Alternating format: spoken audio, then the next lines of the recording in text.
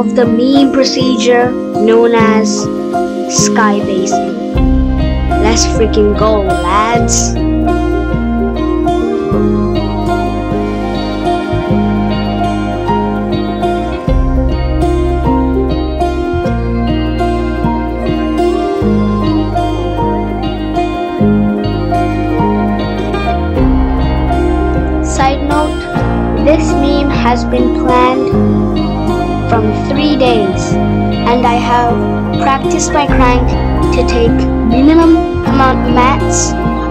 To crank in such a way that I have the most distance into the zone and the least amount of mats wasted.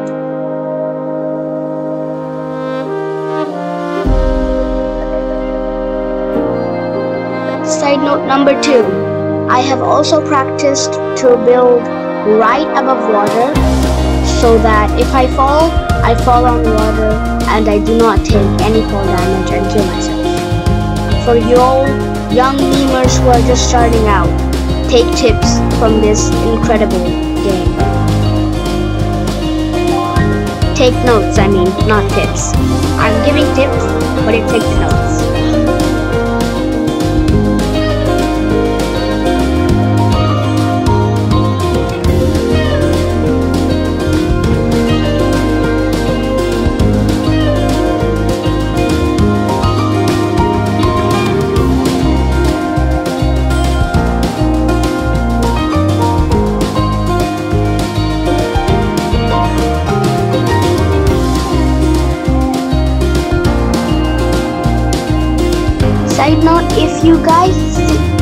Guys think that I am levitating, um, it is most probably lag because this is not actual gameplay. It is a replay of a game I actually played 10 seconds ago.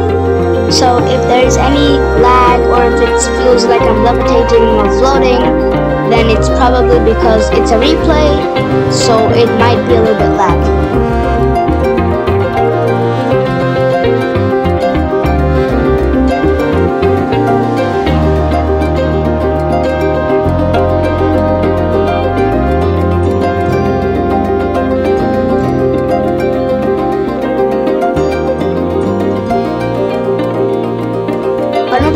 I edited the call to check if there were any people below me. I did see builds, which meant there was a player below me, but at least I got to know that.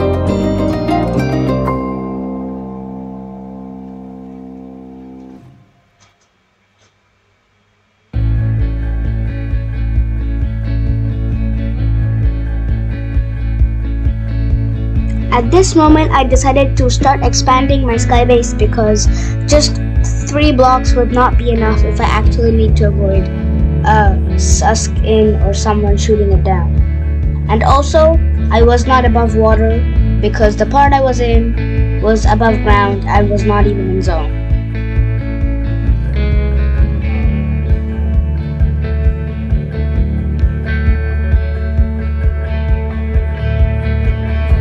At this point, I was very low on mats, so I was praying for a supply drop to drop and in front of me or behind me, and hopefully that my skybase would be big enough so that the supply drop drops exactly on my skybase, so I can get back a little bit more mats.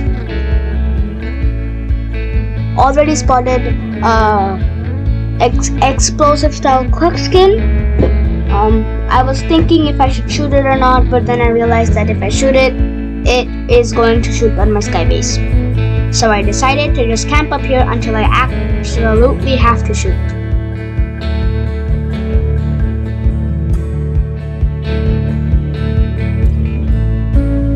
Cause like when you're up here, it's like you're on top of the world, and you need some entertainment to keep it going through the meme. So I was just watching. Um, this was top three situation, by the way.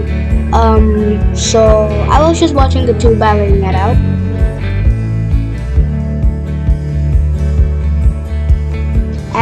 Now I got scared because I saw the clock skin, or I think that is another skin. I don't know, but I think that's a clock skin or something. I saw that guy edit coursing, which made made me think that he was a sweat. and he knew exactly where the op uh, opponent was, so that got me scared.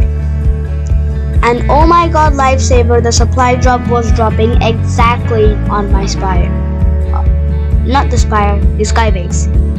I shut it down just to make sure it wouldn't glitch out. It dropped, and it's a top two situation. I got back a few mats, and I did not need the minis.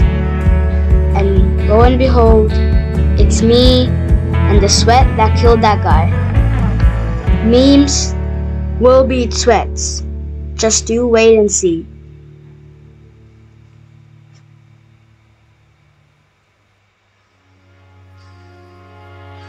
Correction! That clock skin was actually a gold Lara Croft. Sorry, my bad. I just saw red and I thought it was a clock skin. At this moment, I thought that I should start shooting it, but then I realized that I should wait a little bit. But then I saw it shooting my, down my skybase, so I decided to just wait for bullets. I started shooting again, so I fired back again. Unfortunately, Scar Bloom is not very good for these kinds of long-range fights and it shot down my skybase. But my water technique worked and I landed on water without any casualties. Here came the build fight. Oh boy. It tagged me good and I had no shield left. I popped a cabbage and I popped a corn and I was down to two cabbages and four sticks of corn. It was above me, it had height, and I did not. I decided to get my previous ball back down and I was in water. I thought that if I go back I would get tagged and lo and behold I did. I waited for it to shoot and it tagged me good. Now I was super low with only 78 HP. I popped all my corn and now I have one corn left, 169 tag and 35. Let's go. 35 white, 169 tag and I won with 14 HP. Long shot llama. I defeated a lobby and got a victory royale with 14 HP and skybased practically the whole endgame. This is a reminder that memes will always, always beat sweats. I am Pokepanda, and peace out. Zombie Apocalypse.